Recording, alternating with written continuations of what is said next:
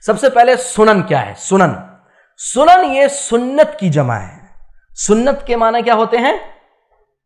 طریقہ۔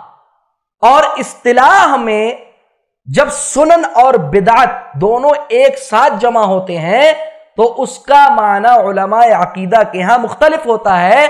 اس سنت سے جو فقہ کی اصطلاح میں ہوتی ہے۔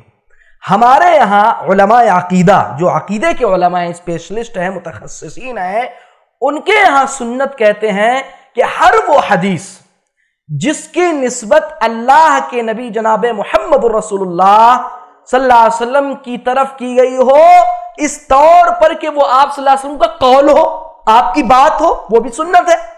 اسی طرح اللہ کے نبی صلی اللہ علیہ وسلم کا کوئی فعل، کوئی عمل ہو، وہ بھی کیا ہے؟ سنت ہے۔